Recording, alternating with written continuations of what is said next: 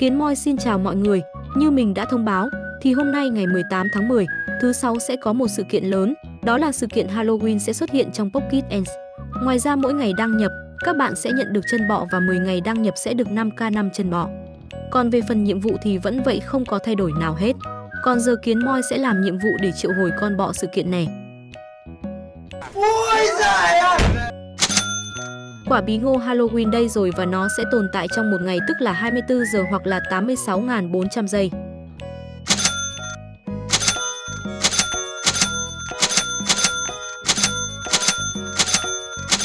Nhiệm vụ đã xong rồi, còn giờ Kiến Moi sẽ triệu hồi bọ sự kiện này.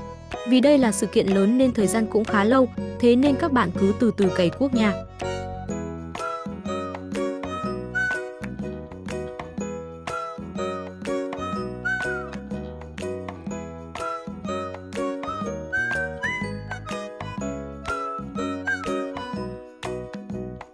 Úi giời ơi, đẹp thế không biết, 9 điểm ngoại hình nha.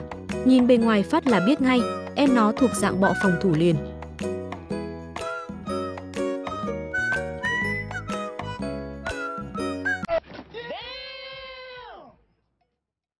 Ủa ủa, cái gì vừa mới xảy ra dị, tôi có nhìn lầm hông dị má.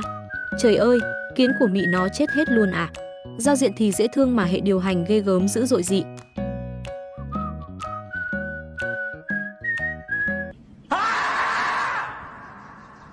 Không ngờ thiệt luôn á chứ.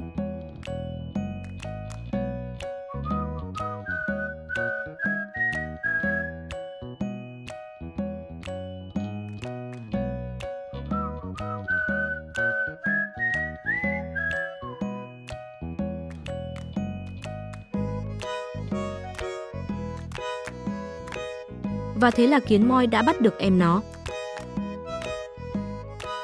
Còn đây sẽ là chỉ số của em nó nha. Đam 8%, HP 100%, tốc độ tấn công 88% và tốc độ di chuyển 32%. Theo mình đánh giá thì đây là những dòng chỉ số ổn dành cho những con bọ dạng tanh và hơn thế nữa em nó còn sở hữu khả năng đặc biệt nữa này. Đây sẽ là em bọ thứ hai này.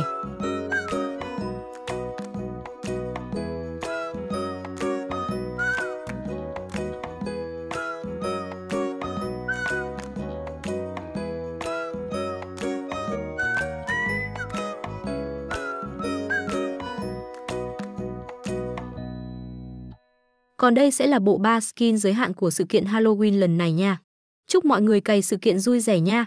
Còn giờ thì bye bye và hẹn gặp lại ở những video tiếp theo. Bye bye.